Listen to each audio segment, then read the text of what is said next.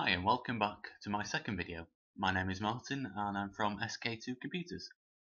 Okay, this is a follow-on from my previous uh, video on what is bloatware.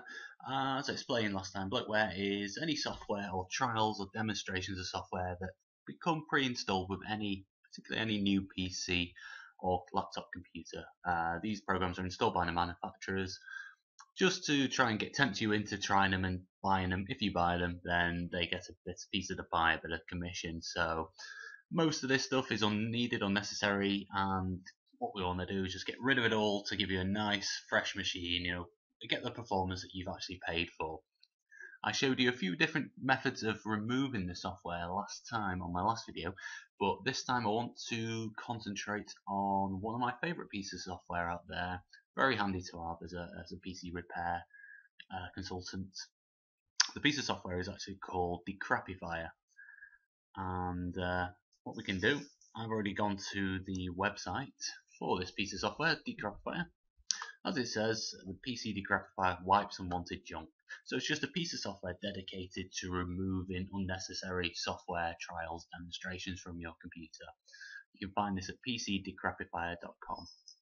Okay, so what I'm going to do is just run you through just an example of this now, because if we have a look at my desktop, uh, this, is a demonstration machine, so you can see some demos on here of games, uh, stuff that I don't want. So, so open up Chrome, let's download Decrapifier.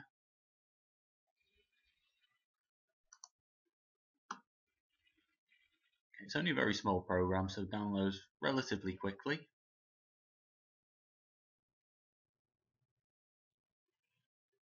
Okay, and then we just run through the installation just as normal. Uh, we're not going to check for updates because we literally just downloaded the latest version from our website. We click next, next to the license. Uh, once again, read for any warning messages.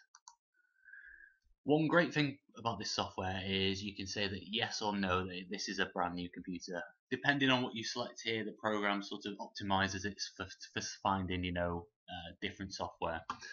Uh, I'm going to say yes, this is a brand new computer. Uh, I would recommend at this point to create a restore point. This, as it says here, creating a restore point may allow you to recover from unforeseen errors because everyone's done it. You accidentally delete a program that you use. What do you do? Hopefully, you can restore it. So it's always double, you know, best to, to double check yourself and uh, create a restore point. So I'm not going to do this because I know what I want to uninstall. So I'm just going to continue next in the next step. Okay, so it gives you a list of all of the programs that are installed on my computer at the moment. So I'm going to go down this list and just select the ones that I want to remove.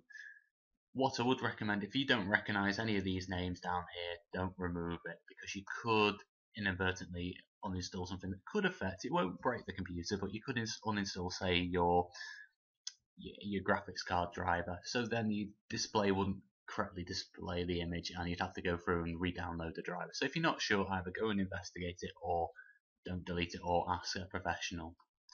So I'm just going to remove some demonstrations, some trials of game software on here. I think that should do, yeah. So once you've selected everything that you want to remove, click on next. Just prompts you. And what it does is just go through each product now, uninstalling it. You will get multiple prompts just asking you to OK each program to be uninstalled. But uh, this is this is it just has to go through this uh, stage. Uh, it would be the same if you're doing each program manually one by one, but this just go uninstalls them automatically one after the other, so you don't it just removes that manual step.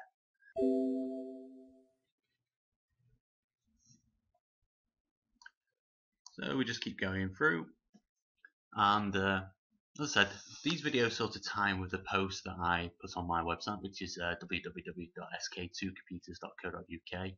Uh, I do a, a, post, you know, every few weeks of a different topic. So if you got any suggestions, please drop me a note on there, and uh, we'll go through that. Once you, once the software has gone through and re removed everything, it will come up with a removal complete screen. Uh, you can put any comments in here if you want to, you know, feedback to the developers. I'm just going to click on finish and that is done. If we go and have a look at our desktop now, those pieces of software done. Now that would have saved us five or ten minutes from doing it manually. So I mean that was only removing three pieces of software. If you have got a new laptop and you've got 20 pieces of software, you can imagine the amount of time saved. And now your computer's uh, performance is where it should have been when you first bought it. So uh, thank you for uh, joining me on this. Thank you.